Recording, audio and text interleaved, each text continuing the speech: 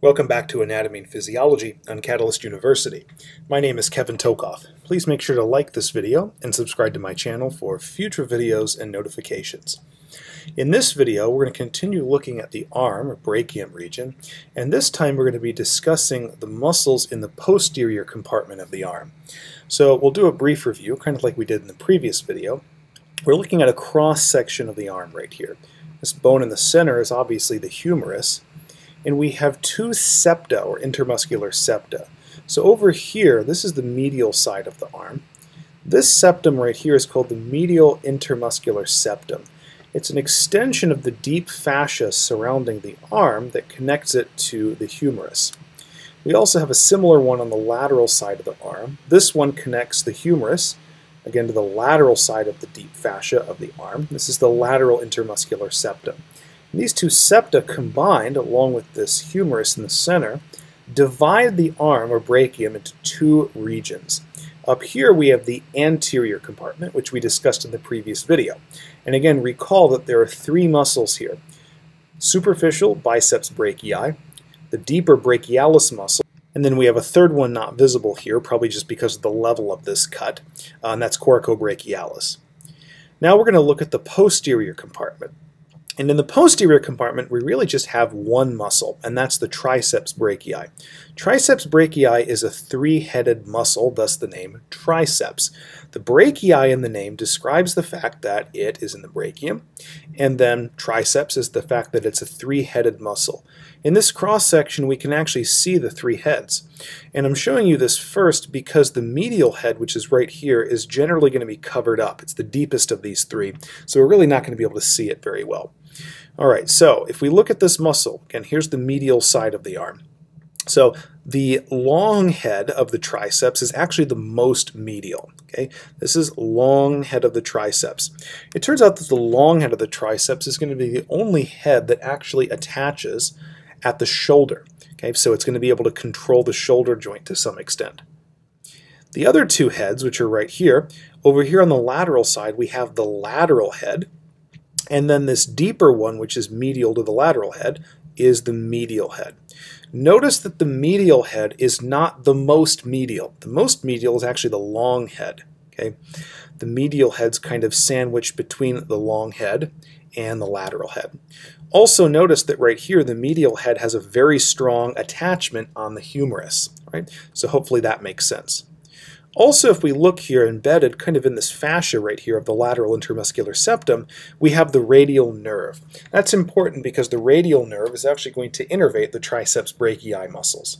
Now we're going to look at the back side of the body. So here's the shoulder right here, and then here's two of the visible triceps heads.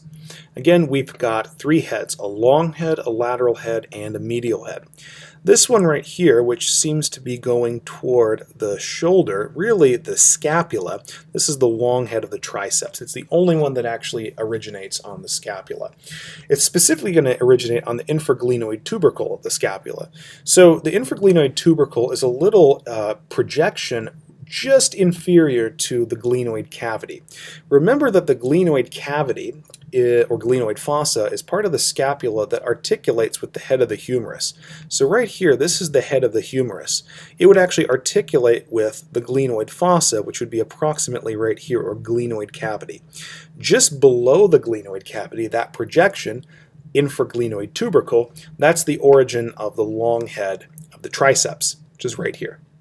The lateral head, which we can see right here, has its origin above the radial groove. And again, it's going to be on the posterior surface of the humerus right here.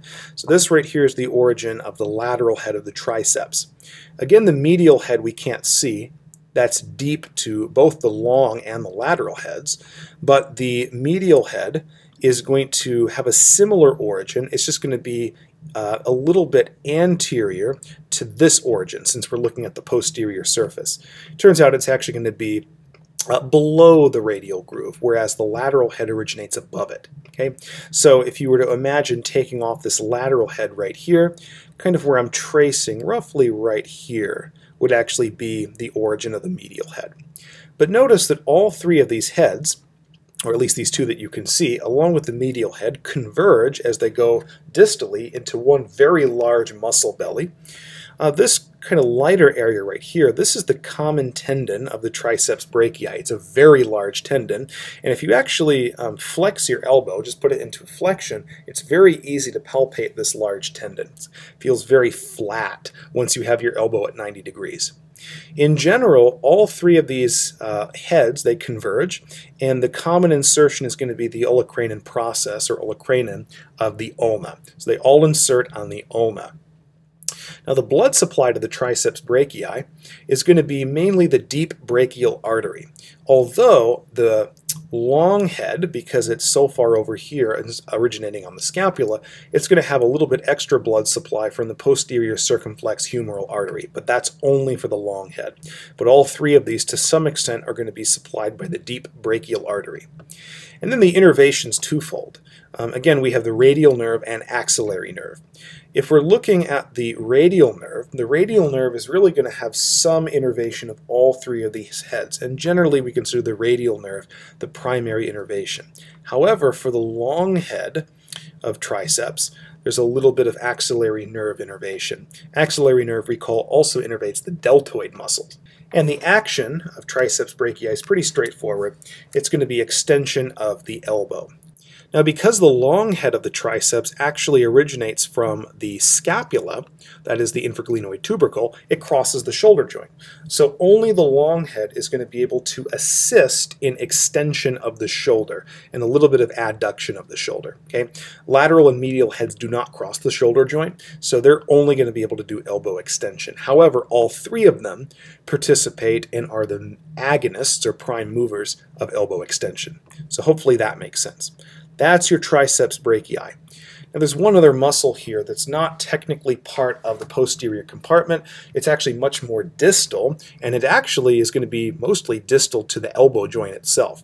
But some people will actually talk about it here because it turns out that this muscle is partially blended with the triceps brachii. In fact, in some sources, they'll actually consider an extension of the triceps brachii.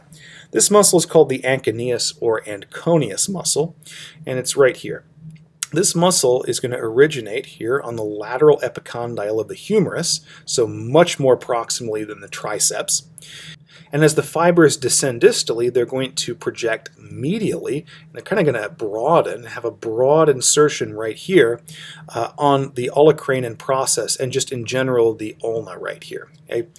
What the anconeus does is it assists an elbow extension, so it assists the function of the triceps. However, it's important in preventing elbow impingement. Okay? What that means is that it really pulls on the capsule of the elbow joint and prevents that capsule from being pinched when you put your elbow into full extension.